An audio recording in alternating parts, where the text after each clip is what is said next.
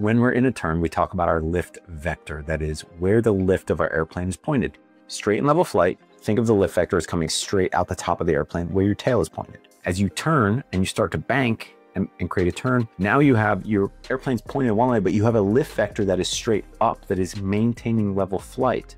And you have another lift vector that is going off to the direction that you're turning in. And so a composite of those two lift vectors is where your airplane is traveling. When we're dogfighting, we talk about our G, our airspeed, our lift vector, which is where we decide to point the airplane so we can begin that turn. There's all these variables that go into it. But your turn rate is how fast you're going around this circle, and your turn radius is how big your circle is in the sky.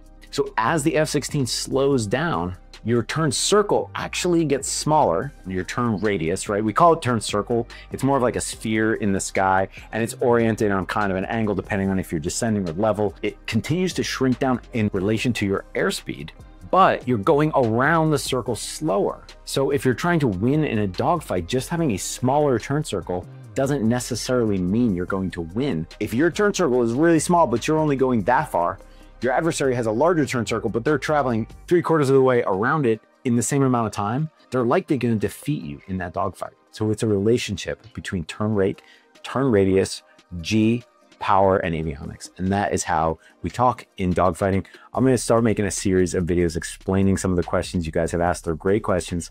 Keep them coming, and I hope this one helped.